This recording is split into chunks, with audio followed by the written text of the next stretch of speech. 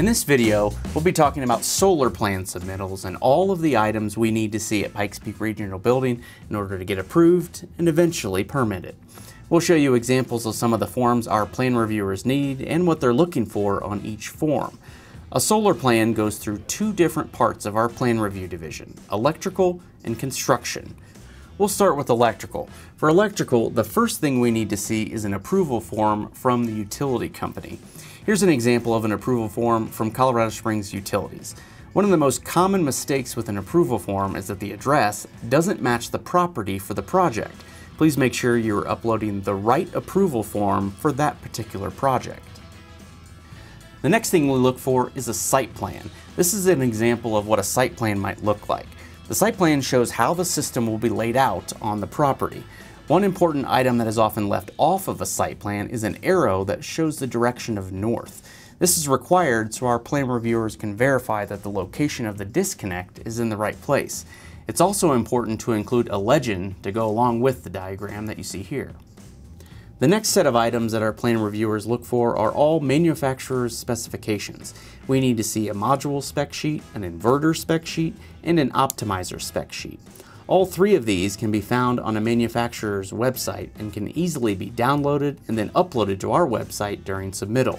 We'll show you individual examples of all three. This is a module spec sheet. The main thing that we're looking for here are the electrical characteristics. In this example that we're showing you, the electrical characteristics are found down towards the bottom. One thing that we're particularly looking for in those electrical characteristics, the open circuit voltage or VOC, as well as the short circuit current or ISC.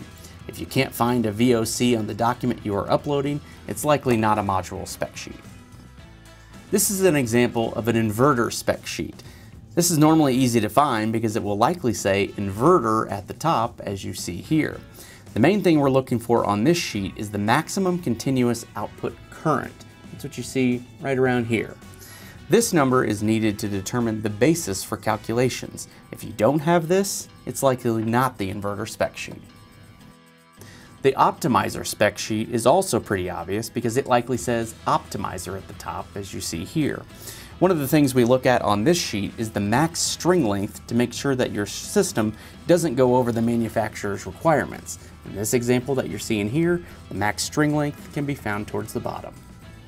The last document from the manufacturer's specs we need to see is a document showing that the rack and solar panels have been evaluated together as a method of grounding the panels. This is an example of what a form might look like. This form not only needs to show that this racking system can handle the solar panels that you are using, but it needs to show that it can handle the specific model number that you're using, and those model numbers can be seen in this section here. Not having a document like this is the number one reason that solar plans get rejected at Pikes Peak Regional Building. This can typically be found in the back of the racking installation manual, and again, this is so important not having a form like this is the number one reason plans get rejected here at Pikes Peak Regional Building. The last thing you need on the electrical side of things is a one-line diagram. This is an example of that.